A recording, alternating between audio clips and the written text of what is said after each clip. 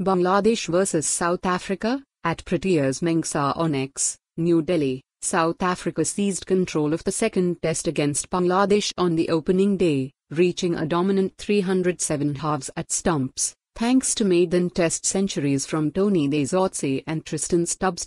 Winning the toss and electing to bat on a batsman-friendly pitch at the Zahur Ahmed Chowdhury Stadium, South Africa lost captain Aiden Markram early for 33.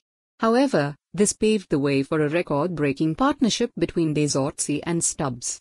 The duo combined for a monumental 201-run stand for the second wicket, a new record for South Africa against Bangladesh in test matches. De Zorzi, battling through visible discomfort from cramps in the sweltering Chittagong heat, remained unbeaten on 141 at the close of play.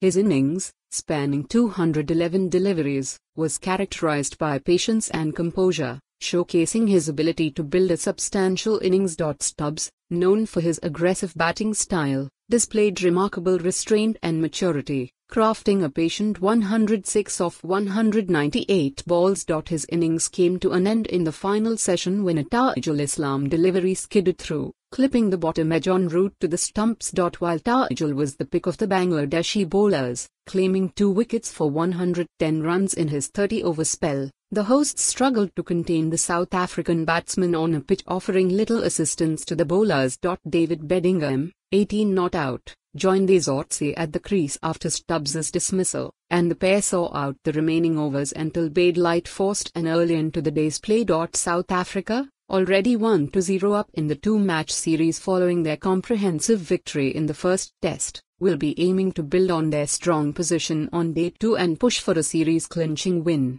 Bangladesh, on the other hand, face an uphill battle to claw their way back into the contest. The performance of their bowlers on day 2 will be crucial in determining the course of the match.